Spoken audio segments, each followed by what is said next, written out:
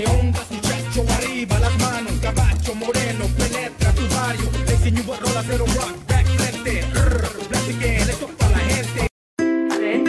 இன்னைக்கு நம்ம பார்க்க போகிறது பால் பொங்கல் பால் பொங்கல் செய்யறதுக்கு தேவையான பொருட்கள் என்னன்னு பார்த்தீங்கன்னா மூணு டம்ளர் பச்சரிசி எடுத்து ஊற வச்சிருக்கேன் மூணு லிட்டர் பால் வேணும் நான் இப்போ ஒன்றரை லிட்டர் எடுத்திருக்கேன்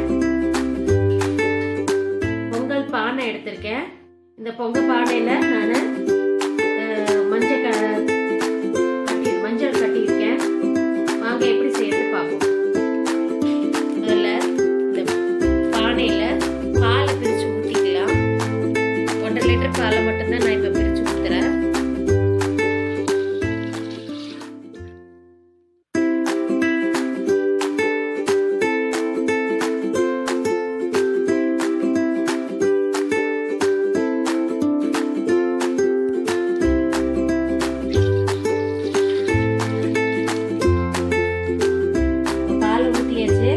நடுவில் தூக்கி வச்சிடலாம்.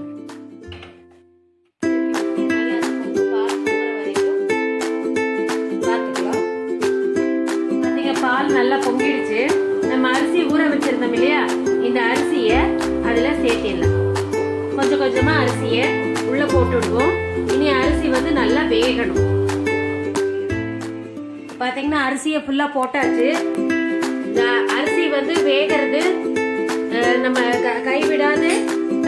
போட்டு கிண்டிட்டே இருக்கணும். இல்லைனாக்கா அடி பிடிச்சிக்கும். நம்ம விடாமல் விடாம இப்படி கிண்டிட்டே இருக்கணும். நம்ம மீதி ஒரு ஒன்றரை லிட்டர் பால் இருக்கு இல்லைங்களா? அதை நம்ம பிரிச்சு வச்சுக்கணும்.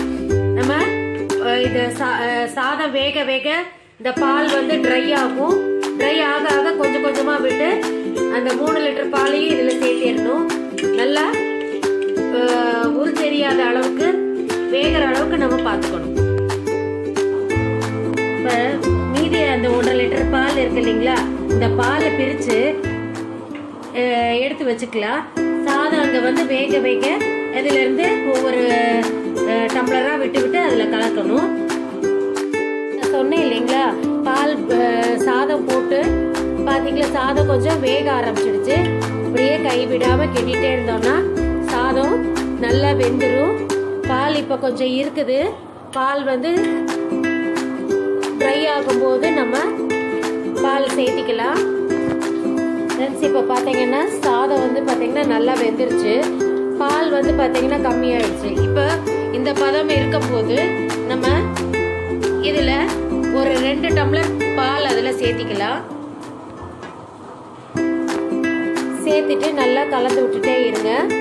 பால் நல்லா வேகட்டும். சாதம் நல்லா வேகட்டும் இந்த பாலுலேயே.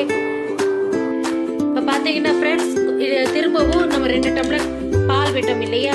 திரும்பவும் அது நல்லா பாருங்க கெட்டி ஆயிடுச்சு. சாதம் நல்லா வெந்துடுச்சு. இன்னமும் நல்லா வேகணும் உருத்தெரியாம திரும்பவும் ரெண்டு லிட்டர் பால் விட போறேன் அதுல. பாலை கொஞ்சம் சேர்த்திட்டு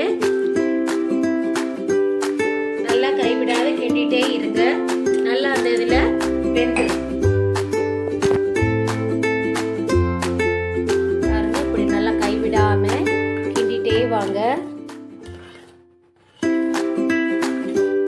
கீழே அடி ஒட்ட கிளறுங்க. அடி ஒட்ட கிளற கிளற அது சாதம் நல்லா வெந்துட்டு வந்துடும் ஃப்ரெண்ட்ஸ் நல்லா வெந்துருச்சு. பாருங்க சாதம் வந்து அந்த உருவே இல்லாத அளவுக்கு நல்லா மசிஞ்சிடுச்சு. இந்த பால் வந்து நல்லா வத்தினதுக்கு அப்புறமா அடுப்பை ஆஃப் பண்ணிடலாம். பாயசம் மாதிரி இப்ப இல்லையா இந்த பாயாசம் மாதிரி இருக்கிறது நல்லா வத்தி பால் வந்து நல்லா ட்ரை ஆனதுக்கு அப்புறம் நம்ம அடுப்பை நிறுத்திட்டு ஒரு தட்டத்தை போட்டு மூடிடணும். அப்ப நல்லா வந்து அந்த பாத்திரத்தோடைய சூட்டுக்கே நல்லா குழஞ்சு நல்லா இதாக கெட்டி பதத்துக்கு வந்துடும். இப்போ பார்த்தீங்கன்னா நல்லா சாதமா வந்துடுச்சு. இது பாருங்க சாதம்